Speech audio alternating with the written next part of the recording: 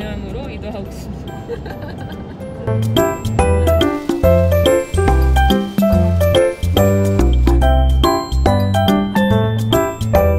저희 지금 밥 먹으러 휴게소에 도착했습니다.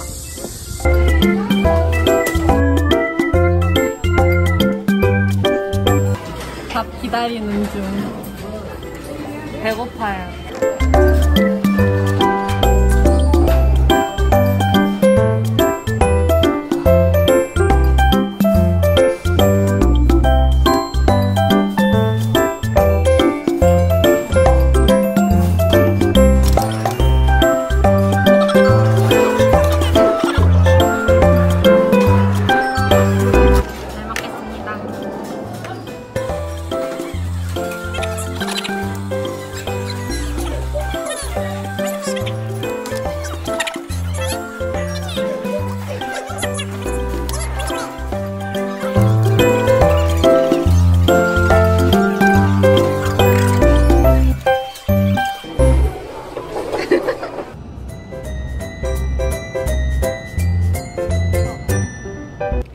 광양고에 도착했습니다. 아, 그러면 그 전문 인력